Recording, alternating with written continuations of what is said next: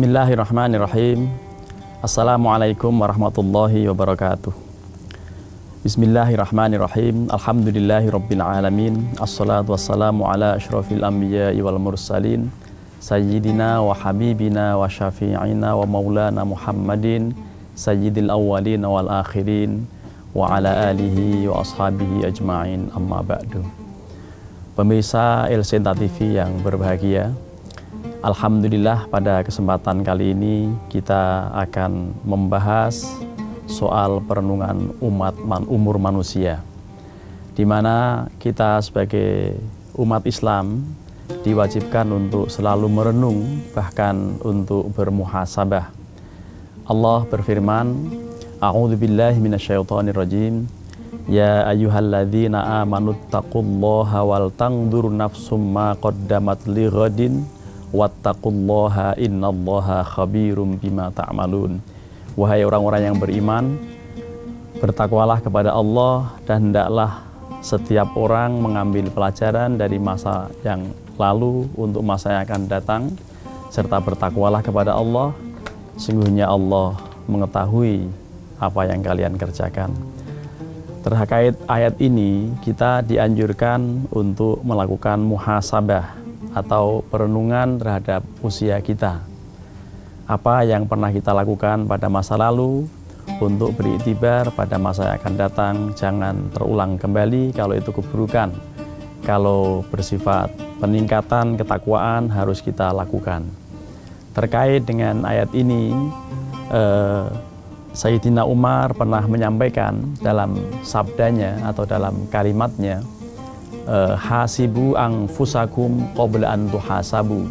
Hisaplah diri kalian sebelum kalian nanti dihisap atau koreksilah diri kalian sebelum kalian dikoreksi.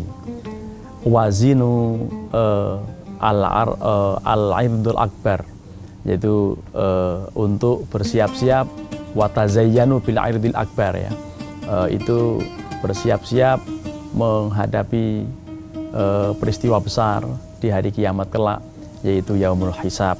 Karenanya uh, kaitan dengan uh, soal ini kita diwajibkan untuk merenung.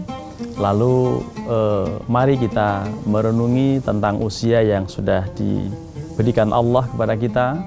Berapa usia kita saat ini? Ada mungkin di antara kita yang sudah berkepala tujuh atau mungkin berkepala enam atau masih berkepala lima atau kepala empat dan seterusnya.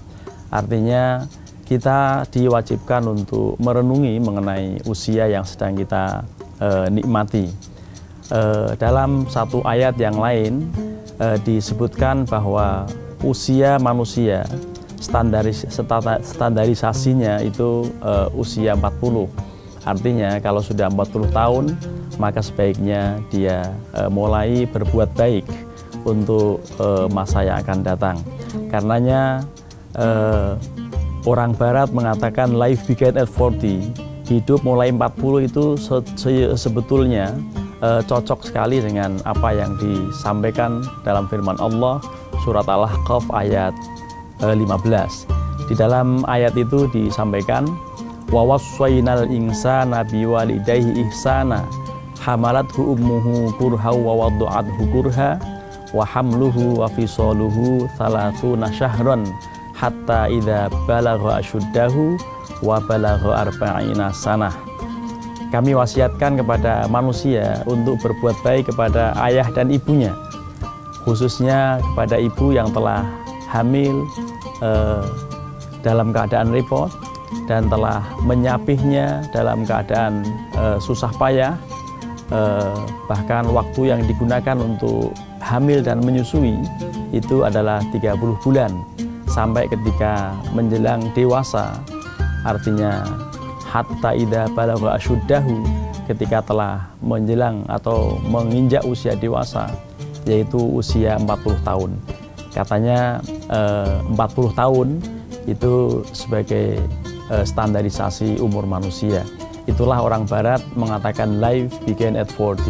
Jadi kalau kita belum berusia 40 tahun, sebetulnya kita masih uh, uh, belum berumur artinya kita masih uh, belum dewasa dalam beragama, dalam berpikir, di dalam uh, kehidupan. Karenanya orang yang sudah 40 tahun sebaiknya merenung tentang usia yang telah diberikan Allah untuk kemudian dia berbuat baik atau e, dalam ayat ini untuk dianjurkan mulai tobat. E, bahkan anjurannya untuk kemudian e, selalu melafalkan doa atau membaca doa dengan kalimat Rabbi auzi'ni an ashkura ni'mataka allati an'amta alayya wa ala walidayya wa an a'mala solihan tardoh Ya Allah ya Tuhan kami berikanlah kesempatan kepada kami untuk mensyukuri semua nikmat yang Kau berikan kepada kami dan ke kepada kedua orang tua kami serta uh, berikanlah kesempatan kepada kami untuk beramal soleh yang Engkau ridhoi. Lalu kemudian wa aslih li fi dzurriyyati. Ya Allah perbaiki usia kami bahwa uh, wa min dzurriyyati atau wa aslih li fi dzurriyyati ini tubtu ilaika wa ini minal muslimin sesungguhnya saya bertobat uh, saat ini ya Allah kepada engkau serta kepada uh, engkaulah kami berserah diri. Terkait dengan ayat ini Rasulullah Shallallahu Alaihi Wasallam menyampaikan satu kalimat dalam hadis yang uh, sangat populer man balagho arba'ina sanah walab yabluhu khairuhu syarrohu falyatabawa maq'adahu minan nar.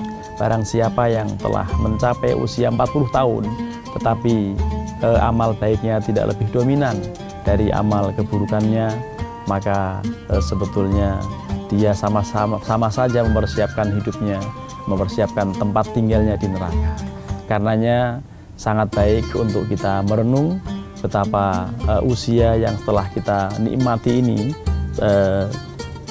demikian besar hikmahnya untuk kita renungi bersama dan orang-orang uh, seandainya tidak mau merenung mengenai usia yang telah diberikan Allah maka sebetulnya orang itu tidak cerdas terhadap uh, kesempatan usia yang telah diberikan oleh Allah Subhanahu wa taala. Karenanya uh, mari kita betul-betul untuk merenung betapa, betapa pentingnya uh, usia yang telah Allah berikan pada kita dan kita uh, terus bisa meningkatkan kualitas iman dan takwa kita serta memperbaiki uh, apa yang bisa kita lakukan untuk masa yang akan datang. Kita akan lanjutkan setelah selingan yang berikut terkait dengan usia manusia, betapa pentingnya untuk kita renungi.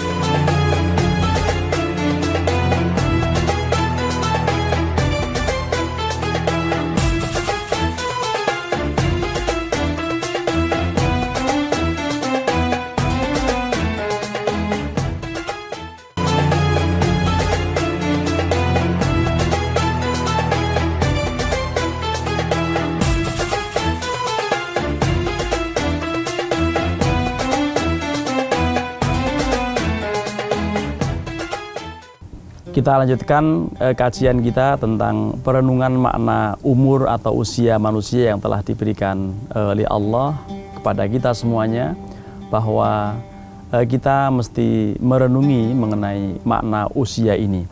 Eh, mari kita lihat apa yang disampaikan oleh orang-orang eh, dalam bahasa Jawa.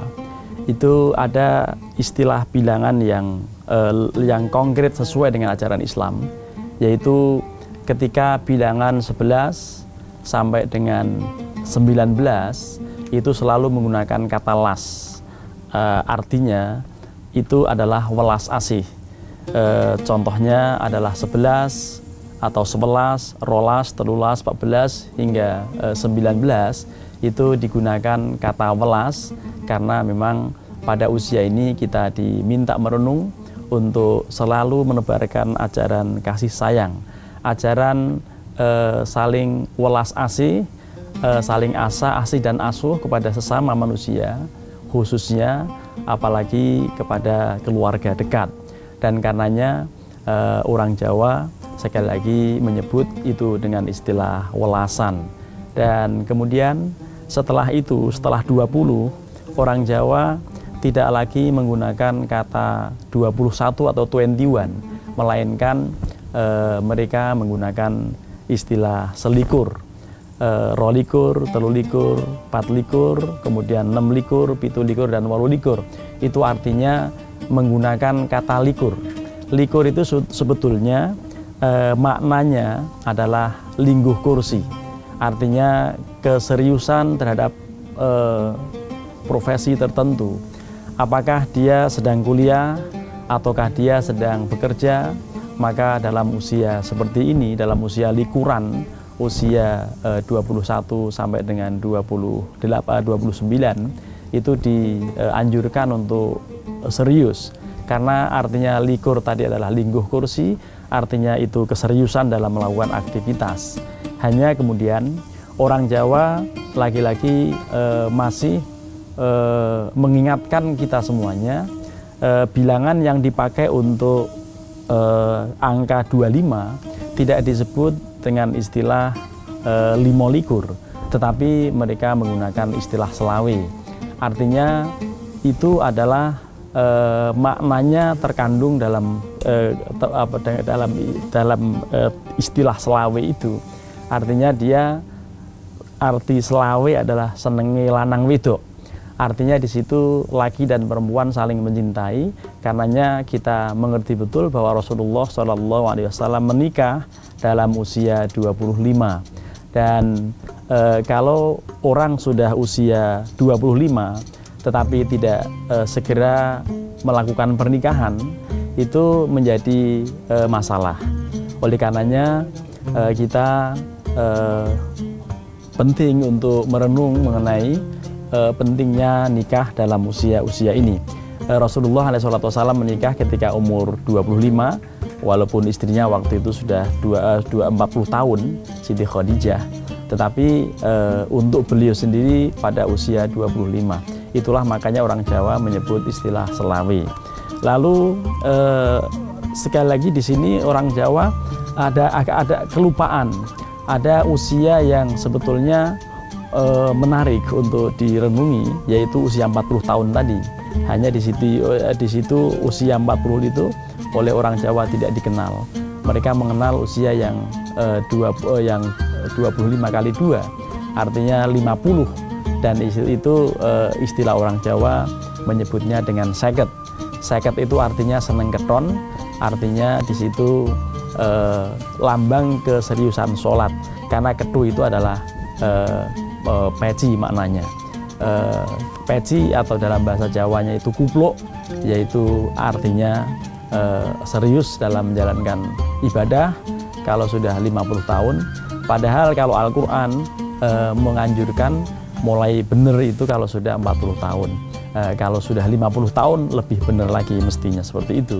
Kemudian eh, 10 tahun dari situ orang Jawa menyebutnya dengan istilah sewidak bukan istilah 60 sebagaimana pitung buluh atau bulung buluh dan sang buluh tetapi mereka menyebutnya sewidak arti sewida itu adalah sejatine wis wayai tindak. Artinya sejat, e, sebetulnya dia sudah saatnya pergi perginya ke mana kalau tidak lagi ke tidak ke, eh, tidak lain kehadiran Allah Subhanahu Wa Taala. Pergi e, kepada Allah Subhanahu Wa Taala dalam rangka untuk menghadap Allah. Karenanya kalau sudah usia 20 e, usia 60 tahun itu sebaiknya merenung betul apalagi uh, usia-usia yang uh, kita miliki sudah uh, demikian uh, apa uh, demikian lengkap karenanya dalam usia 20 uh, dalam usia 60 tahun itu uh, anjurannya uh, untuk terus uh, mendekatkan diri pada Allah Subhanahu wa taala. Masih terkait dengan umur ini uh, dalam satu sabda Rasulullah SAW pernah menjelaskan sekalipun hadisnya tidak sampai pada tingkatan sahih itu disebutkan bahwa orang yang sudah usia 40 tahun maka akan terhindar dari tiga penyakit katanya yaitu penyakit gila, penyakit kusta dan penyakit belang. Uh, orang yang sudah usianya 50 tahun maka orang itu akan Allah mudahkan hisapnya nanti di hari kiamat. Dan kalau sudah usia 60 tahun dalam hadis itu Allah akan uh, memudahkan untuknya bertobat. Karenanya uh, usia tobat itu kalau di dalam angka uh, hadis ini adalah 60 tahun, tetapi kalau dalam Al-Qur'an tadi yang lebih lebih valid adalah usia 40 tahun. Kalau sudah usia 40 tahun, orang harus mengatakan ini tubtu ilaika. Ini tubtul ana ilaika. Bahwa saya uh, bertobat pada engkau. Barang siapa yang sudah usia 70 tahun, maka akan dicintai uh, oleh seluruh makhluk yang di langit maupun yang di bumi.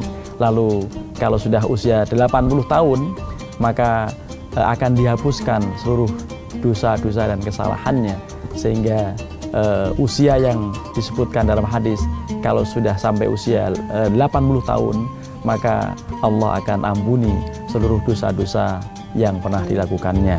Karenanya uh, betapa uh, bahagianya ketika orang telah memiliki uh, usia uh, 90 tahun dan itu menjadi uh, rencana atau menjadi yang sangat baik untuk kita lakukan uh, perenungan terhadap semuanya. Uh, dengan demikian, mudah-mudahan kita uh, pada saat akan menghadap Allah nanti kita memperoleh predikat husnul khotimah dan itulah orang-orang uh, orang yang akan meninggal itu nanti akan ada dua predikat. Satu husnul khatimah atau dua su'ul khatimah.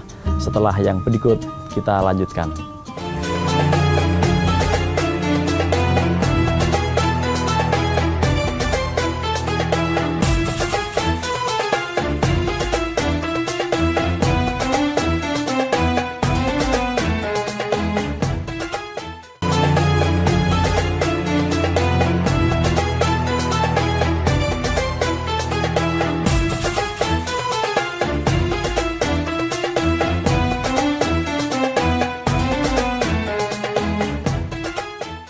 hadirin eh, pemirsa El Sinta TV yang berbahagia, bahwa eh, pada segmen berikut ini disebutkan mengenai pentingnya eh, berupaya untuk menggapai husnul khotimah.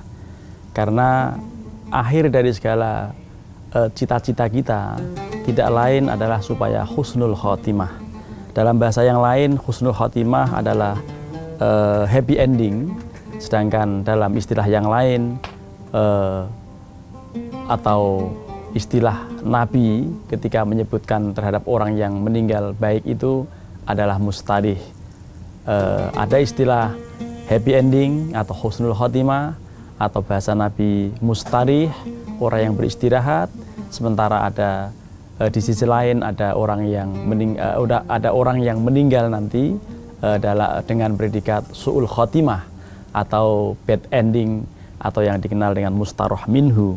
Ini e, latar belakangnya dalam satu kasus ketika Rasulullah Shallallahu Alaihi Wasallam sedang duduk bersama para sahabat, tiba-tiba ada rombongan pembawa jenazah. Rombongan pembawa jenazah itu setelah berlalu e, beberapa detik, Rasulullah Shallallahu Alaihi Wasallam tiba-tiba e, bertanya kepada para sahabat, mustari am mustaroh minhu ini tadi jenazah yang lewat kira-kira orang yang beristirahat atau orang yang akan mengistirahatkan. Mendengar pernyataan ini para sahabat e, bertanya-tanya, memangnya bedanya apa ya Rasulullah? Al mal mustari wa mal mustaroh minhu. Bedanya apa wahai Rasulullah antara yang beristirahat dengan yang mengistirahatkan? Lalu e, beliau mengatakan, al abdul mu'minu yastarihu min nasabid dunya wal abdul fajiru yastarihu min min humul ibadu wasyajaru wad dawab. Kalau memang hamba Allah tadi yang barusan digotong lewat itu adalah orang mukmin yang baik adalah dia meninggal dalam rangka beristirahat karena letih dari kehidupan dunia. Tetapi kalau dia hamba Allah yang banyak dosa banyak kemungkarannya banyak kemaksiatannya alias orang yang fajir, maka gara-gara dia meninggal, banyak orang-orang yang merasa beristirahat atau gara-gara orang itu mati, maka eh, orang menjadi lega karena selama hidupnya membuat onar. Itulah eh, ciri orang yang su'ul khatimah. Jadi kalau kita boleh merenung mengenai usia kita, dan cita-cita dari uh, semuanya maka yang paling penting adalah aish kariman aumut syahidan. Uh, hidup mulia atau mati syahid. Itulah uh, pentingnya kita bercita-cita untuk menjadi husnul khotimah karenanya uh, orang yang meninggal uh, selain dalam istilah Nabi Mustari dan Mustaroh Minhu maka uh, istilah yang lain adalah husnul khotimah dan sul khotimah itu karenanya kita uh, betul-betul uh, penting untuk merenungi agar suatu saat kita menghadap Allah Subhanahu wa taala dalam kondisi yang husnul khotimah bukan yang sebaliknya yang suul khotimah atau yang bad ending. Karenanya uh, yang penting buat kita semuanya uh, bagaimana kita uh, berupaya untuk menggapai husnul khotimah maka sebaiknya kita betul-betul uh, untuk membiasakan mengucapkan kalimat-kalimat thayyibah khususnya kalimat la ilaha illallah Muhammadur Rasulullah karena kalimat thayyibah ini kalimat tauhid ini Barang siapa yang sempat mengucapkannya sebelum dia menghembuskan menghembuskan nafas yang terakhir, wajabat lahul jannah. Maka na akhiru kalamihi la ilaha illallah wajabat lahul jannah. Barang siapa yang uh, kalimat terakhirnya adalah la ilaha illallah, maka dijamin dia masuk surga. Tetapi tidak segampang itu kita untuk bisa mengucapkan kalimat la ilaha illallah, maka kiasnya adalah kalau kita waktu kecil dulu tidak pernah main layangan, maka ketika kita menjadi kakek dan cucu kita minta tolong supaya dinaikkan layangan atau dimainkan, dimainkan, diajari main layangan, maka kita tidak bisa mencontohkan, kita tidak bisa me, e, mencontohkan kepada cucu itu. Maka sebaiknya e, perbanyaklah kalimat la ilaha illallah supaya kita bisa memanggilnya kembali supaya kita bisa mengucapnya dalam uh, usia akhir nanti. Karenanya uh, penting betul untuk merenung bahwa Rasulullah SAW juga pernah mengatakan jadidu imanakum. Kaifalu jadidu imanana ya Rasulullah? Bagaimana kita uh, bisa memperbaharui atau mencas iman kita? Maka beliau sabdakan jadidu imanakum bi la ilaha illallah. Berbaharulah iman kalian dengan cara memperbanyak kalimat la ilaha illallah. Saking pentingnya kalimat ini, maka orang-orang Jawa sejak dahulu eh, sering mengatakan bahwa seluku-seluku batok, batok elailu. Artinya, latihlah batok kepalamu dengan berzikir menggunakan kalimat la ilaha illallah karena tidak tahu persis bahwa majentit lololobah karena mati itu adalah sesuatu yang pasti serta e, cepat datangnya. E, cepat atau lambat kita akan menghadap Allah.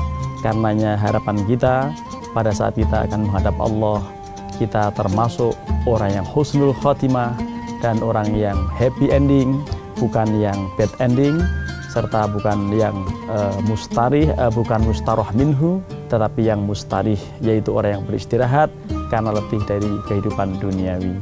Demikian mudah-mudahan bermakna dan bermanfaat apa yang disampaikan dalam kajian ini. Sampai jumpa dalam uh, program yang sama. Terima kasih. Assalamualaikum warahmatullahi wabarakatuh.